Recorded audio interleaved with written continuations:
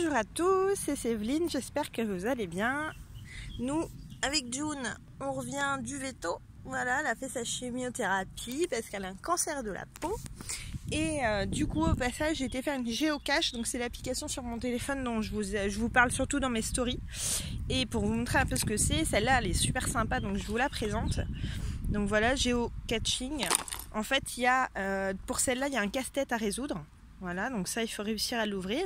À l'intérieur, il y a un code, enfin deux, codes, on va dire, qui me permettent ensuite d'ouvrir le cadenas qui est là. Voilà, et donc dans ce cadenas-là, à l'intérieur de ça, vous avez du coup un tube avec un papier pour écrire votre nom. Voilà, donc il est là, il faut que je le remette d'ailleurs.